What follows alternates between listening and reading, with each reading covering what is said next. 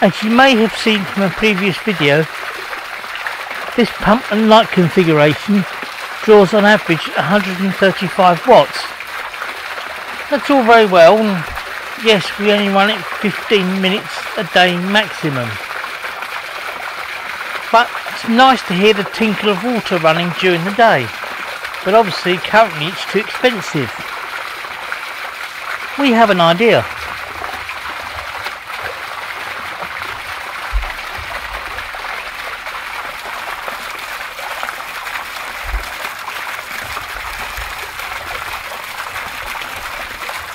Yes. That there. It's smaller obviously. Doesn't have a light. But it does make a nice noise.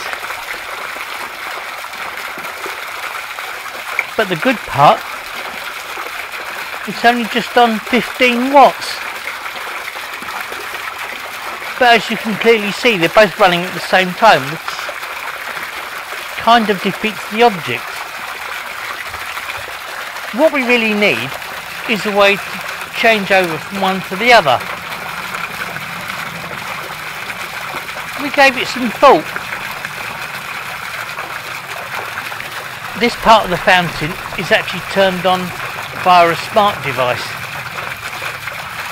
It turns either both on or both off. There's nothing we can do about that. There isn't enough room to install more cables. But we come up with an idea.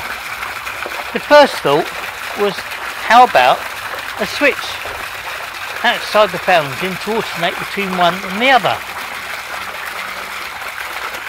The problem with that is that if it's night time and the fountain is on, you've got to come out and change it over from the daylight one, the small one, to the big one.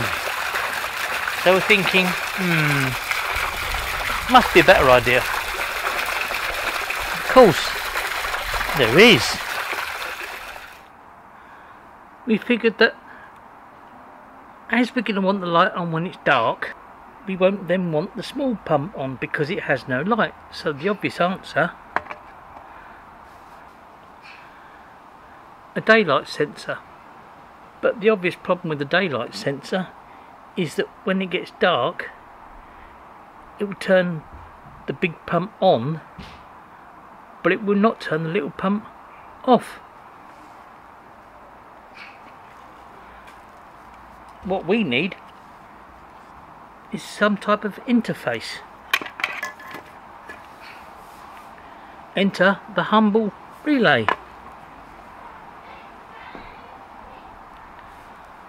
The idea being when the daylight sensor turns on it will turn on this relay but it will swap the outputs which is these two from one pump to the other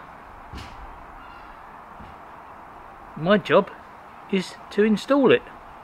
I'd better get on.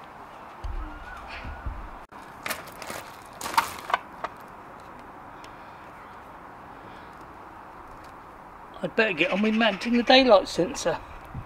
I'm going to mount it here. Done. Now all I have to do is to connect it. Connect it to what? Oh, that's easy. the control box. Yes, that really does say central fountains, big and tiny connections and LED controller. Let's um open it up. Yes, it's not perfect, but I can't get a mount for these power supplies.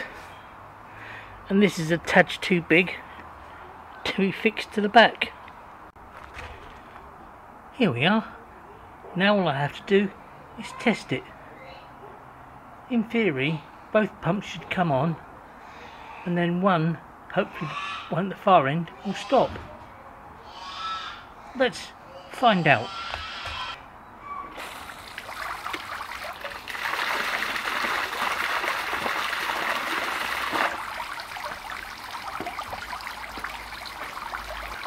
Yes, as expected, initially it's two lights, so they both come on.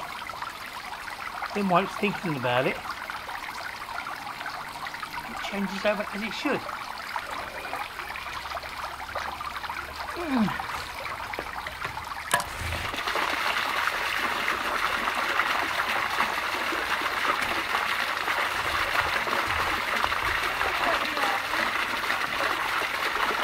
As you see, it does take it a couple of minutes, but it does work.